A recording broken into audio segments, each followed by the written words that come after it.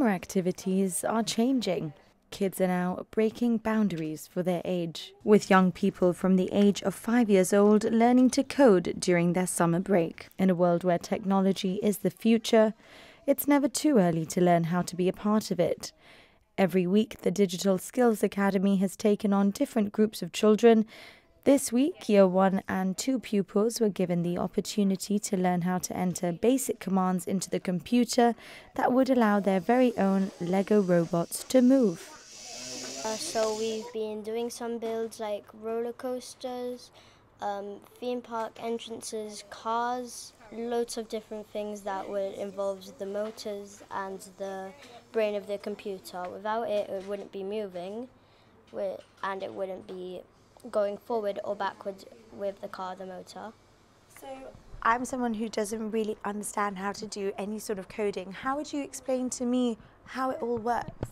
Well, I am not very good at coding either, but when I started, I didn't really know what I was doing. But then I sort of understood the motor, so and then I I keep um, forgetting that I had to connect it to the computer, and then it just started going. It's quite fun because we get to experience and build. But the, the only bad thing is when, when you have to dismount it and then you have to break all the builds that you've had fun doing with. Just going to put pockets. I'm just going to put it into the pocket. I'm going to press the yellow button so it can move. What does coding mean to you? Um, that, that it can move by its own. Uh, this is the car, and I built like this tower here. It's like a little temple that I made with loads of people and decorations on it. Making the Lego. Yeah? Yes. Yeah? And what was your favourite thing that you made so far? The robot.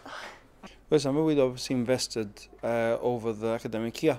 Again, it's quite expensive equipment, but again, the kids really find it really engaging. Again, it's it's building, it's also coding. It's very it's very hands-on.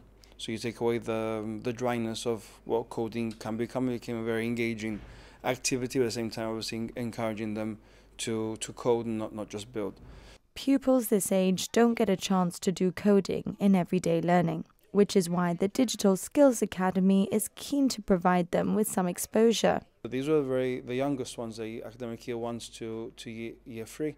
They've been just using the the, the robotics. The theme was um, like an amusement park, so they've been making uh, Ferris wheels. They've been making uh, cable cars. Today they're making cars that would that would take their their guests from one part of the park to the other. So the theme has there's been a general theme, and obviously that each each day has been building something different for the for the actual theme park.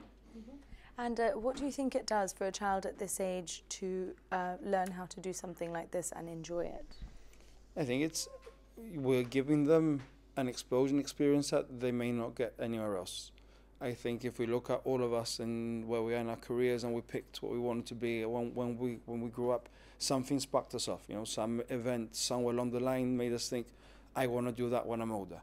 So the whole point of this is to give them the opportunity to use robotics, coding, engineering, technology, and they're thinking, you know what, this is what I want to do when I'm older. Type in the stuff and then start doing the Legos. And is it something that you like doing? Um, a little bit. Yeah. Do you think you want to do it again? Yeah. Yeah. And do you know what you want to be when you grow up? Yep, an engineer. Career success often centres around the number of skills one has. It's safe to say that knowing how to make a Lego robot by the age of five is a pretty good place to start.